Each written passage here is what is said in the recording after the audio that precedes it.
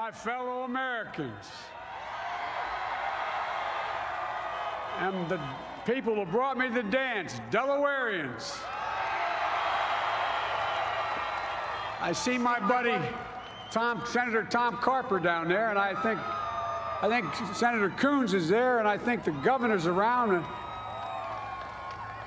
Is that Ruth Ann? And that former Governor Ruth Ann Minner. Most importantly, my sisters-in-law my sister Valerie. Anyway. Folks, the people of this nation have spoken. They've delivered us a clear victory, a convincing victory, a victory for we the people. We've won with the most votes ever cast on a presidential ticket in the history of the nation. 74 million.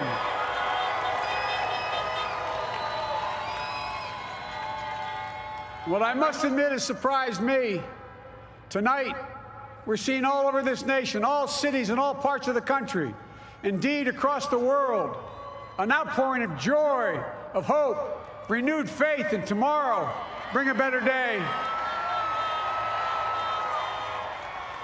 And I'm humbled by the trust and confidence you've placed in me.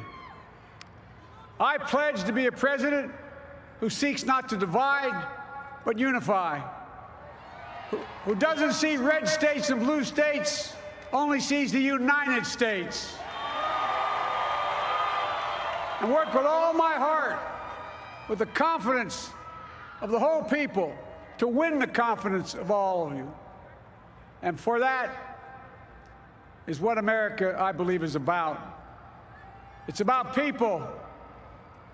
And that's what our administration will be all about. I sought this office to restore the soul of America, to rebuild the backbone of this nation, the middle class, and to make America respected around the world again. And to unite us here at home. It's the honor of my lifetime that so many millions of Americans have voted for that vision.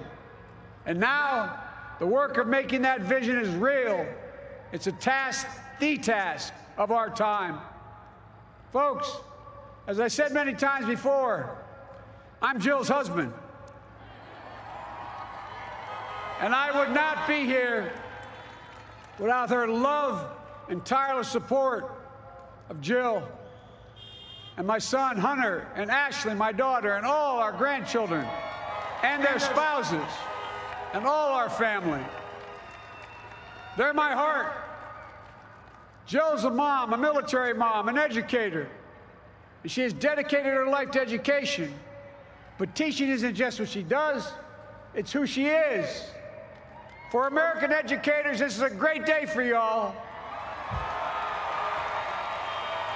You're going to have one of your own in the White House.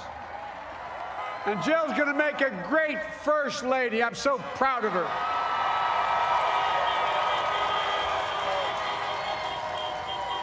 And I'll have the honor of serving with the fantastic vice president who you just heard from, Kamala Harris,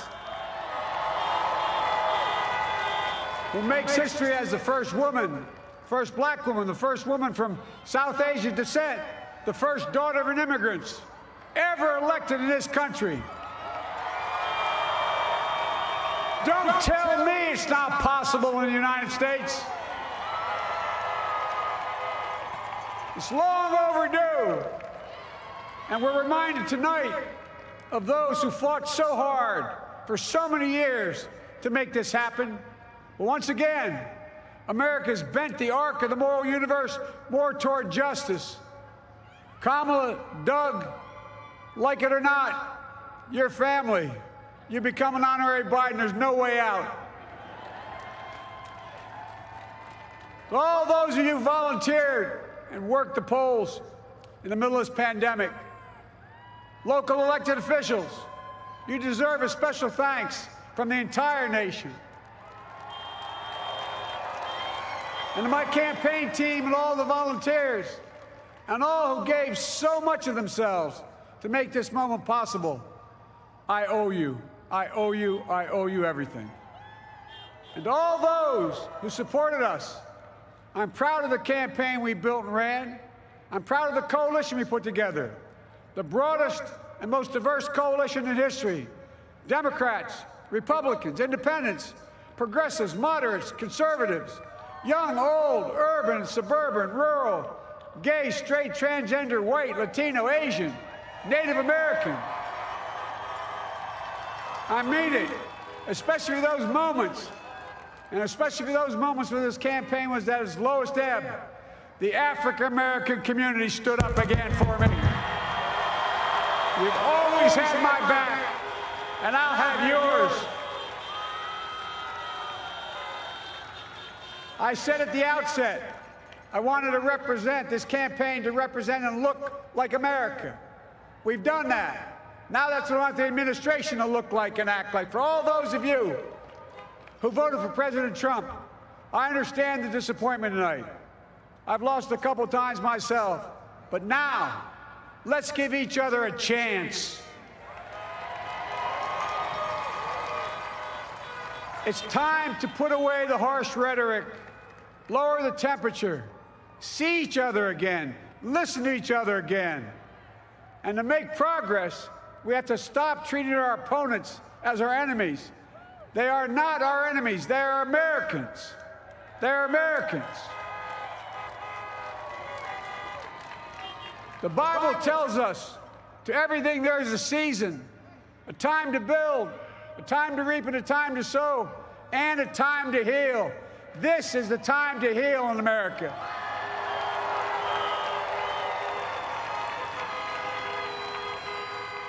Now this campaign is over. What is the will of the people? What is our mandate? I believe it's this Americans have called upon us to marshal the forces of decency, the forces of fairness, to marshal the forces of science and the forces of hope in the great battles of our time the battle to control the virus, the battle to build prosperity, the battle to secure your family's health care, the battle to achieve racial justice and root out systemic racism in this country. and the battle to save our planet by getting climate under control. The battle to restore decency, defend democracy, and give everybody in this country a fair shot. That's all they're asking for, a fair shot. Folks,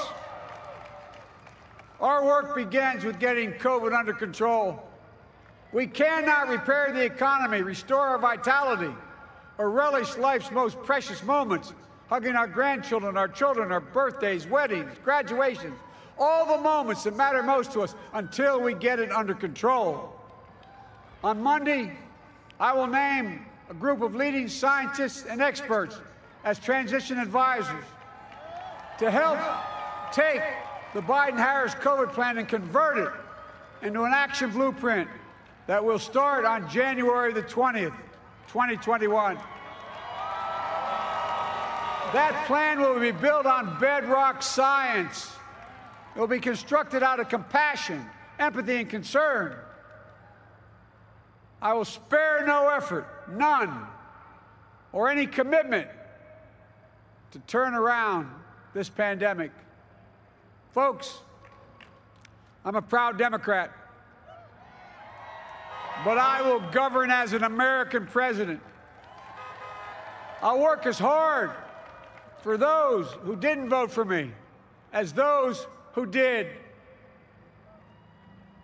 Let this grim era of demonization in America begin to end here and now.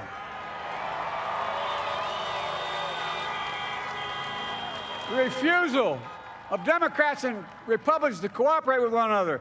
It's not some mysterious force beyond our control. It's a decision, a choice we make. And if we can decide not to cooperate, then we can decide to cooperate. And I believe that this is part of the mandate given to us from the American people. They want us to cooperate in their interest.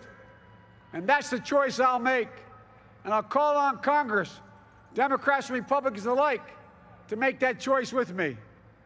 The American story is about slow yet steadily widening the opportunities in America. And make no mistake, too many dreams have been deferred for too long. We must make the promise of the country real for everybody, no matter their race, their ethnicity, their faith, their identity, or their disability. Folks, America has always been shaped by inflection points, by moments in time where we've made hard decisions about who we are and what we want to be. Lincoln in 1860, coming to save the Union. FDR in 1932, promising a beleaguered country a new deal. JFK in 1960, pledging a new frontier. And 12 years ago, when Barack Obama made history, he told us, yes, we can. Well, folks, we stand at an inflection point. We have an opportunity to defeat despair, to build a nation of prosperity and purpose. We can do it. I know we can. I've long talked about the battle for the soul of America. We must restore the soul of America. Our nation is shaped by the constant battle between our better angels and our darkest impulses. And what presidents say in this battle matters. It's time for our better angels to prevail. Tonight, the whole world is watching America. And I believe at our best, America is a beacon for the globe. We will not lead, we will lead not only by the example of our power, but by the power of our example. I've always believed Many of you heard me say it. I've always believed we can define America in one word possibilities.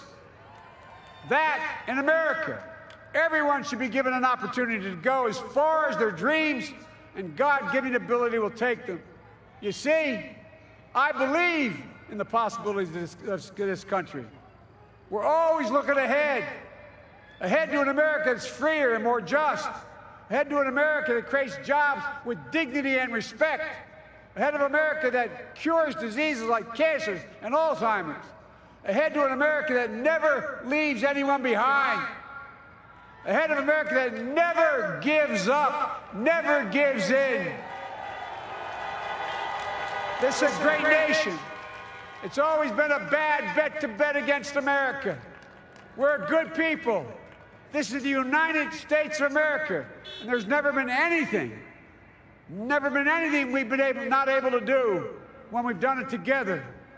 Folks, in the last days of the campaign, I began thinking about a hymn that means a lot to me and my family, particularly my deceased son, Bo. It captures the faith that sustains me and which I believe sustains America. And a hope and I hope it can provide some comfort and solace to the 230 million thousand Americans who've lost a loved one to this terrible virus this year. My heart goes out to each and every one of you. Hopefully this hymn gives you solace as well. And it goes like this. And he will raise you up on eagle's wings, bear you on the breath of dawn, and make you to shine like the sun, and hold you in the palm of his hand. And now together, on eagle's wings, we embark on the work that God and history have called upon us to do with full hearts and steady hands, with faith in America and in each other, with love of country, a thirst for justice. Let us be the nation that we know we can be a nation united, a nation strengthened, a nation healed. The United States of America, ladies and gentlemen, there's never Never been anything we've tried we've not been able to do. So remember, as my grandpapa, our grandpapa used to say when I walked out of his home when I was a kid up in Scranton, he said, Joey, keep the faith. And our grandmother, when she was alive, she yelled, No, Joey, spread it. Spread the faith. God love you all. May God bless America and may God protect our church. Thank you, thank you, thank you.